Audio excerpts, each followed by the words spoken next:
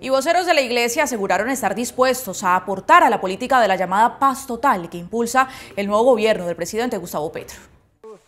Monseñor cree que no solo basta dialogar con el ELN. Primero las FARC, ahora el ELN, no. Ahora es una paz sincrónica, una paz simultánea, una paz total, es decir, con todos.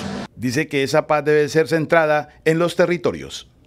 Es decir, el primer rostro de la paz es que la gente coexista, toleren la existencia de los diversos en su territorio y construya una mínima convivencia para que allí se puedan organizar también para la paz. Entonces en esto hay que dar pasos.